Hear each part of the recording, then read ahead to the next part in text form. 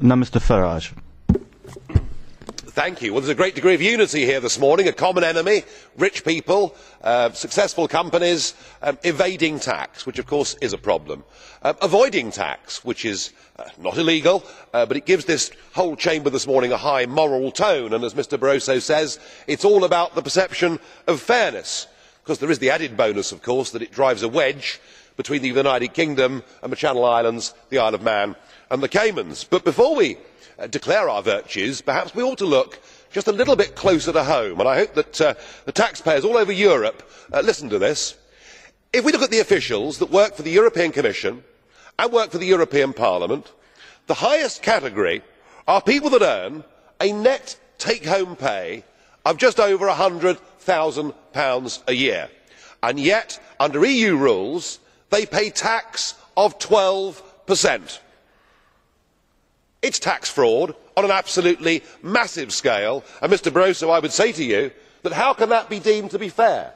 How can people out there struggling, the 16 million unemployed in the Eurozone, how can they look at these institutions, not only paying people vast sums of money, but allowing them tax and also, of course, pension benefits on a scale not seen anywhere else in the world? So um, I suggest we have a bit less of this high moral tone.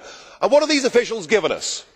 Well, they were the architects of the euro, which is a complete disaster.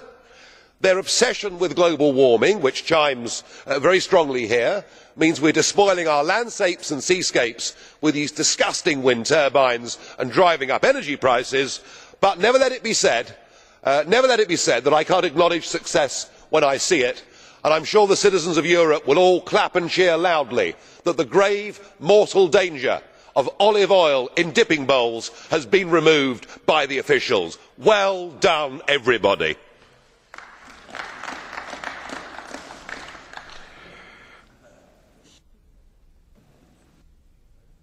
Herr Kollege, es gibt eine Frage. Now, there's a question from Mrs Jaakonsaari for you, sir. Arvoisa- Arvoisa puhemies, Mr. President, thank you. I hope that the citizens of Europe have heard Mr. Farage's cynical views and his praise for the UK's tax havens. Mr. Farage, don't you think it is a good idea that the European Council is talking about tax havens and tax evasion? Is there nothing good in Are you so cynical that you think it's such a bad idea? Bitte, Herr Farage. I agree with you that tax uh, evasion is a problem and is costing governments money, but we should remember that tax avoidance is legal. And the biggest reason that tax havens are allowed to prosper is we have got this uh, very statist mindset Uh, that we must try and get as much tax out of successful individuals as we possibly can. If you do that, and if you have a very complicated tax system, people will do all they can within the law to avoid paying tax. And the answer for Western governments is to learn some of the lessons from the 1980s in Britain and America.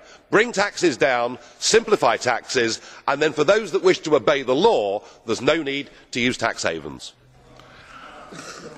Vielen Dank. Das Wort hat jetzt